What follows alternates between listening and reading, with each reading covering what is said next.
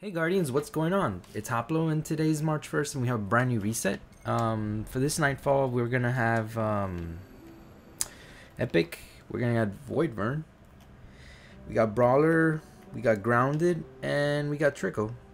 And it's to be the Psion Flayers, so we got to do with those three little guys over there, but um, shouldn't be too difficult, especially with the Voidburn and the Brawler.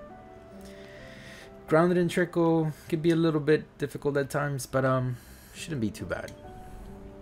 Alright, and then for the reef for this week, we got, um, for the level 32 arena, we got Urrox's Grudge, Flame Prince Urox, vows to Vern, the light until all that remains is darkness and bone. For the level 34 arena, we got Qodron, Vex Carnivore sees only one outcome, your demise. Prove it wrong. And finally, for 35, obviously, we got the Skolas, Revenge. And then on to the Dreadnought for King's Fall Raid. The challenge this week is going to be Golgoroth. Um, it's a little bit more difficult than War Priest if you can't coordinate properly with your team.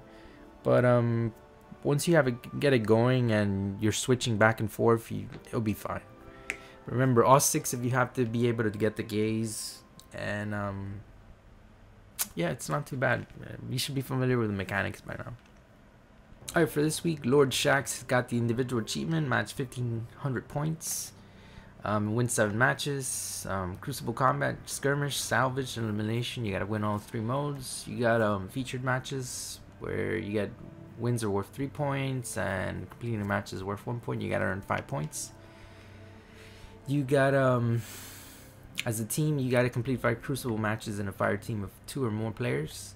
And finally, you gotta um, complete all 5 of Shaxx's weekly bounties in one week, and you get the um, True Meaning of War. You've got work to do, All right, on to the Court of Oryx.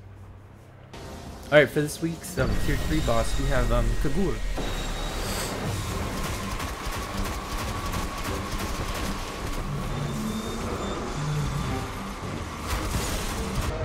Anyways, guys, thanks again for joining me. This is Haplo. Make sure to check out my Nightfall video and um, my Zerg video on Friday. I'll see you around, guys. Later.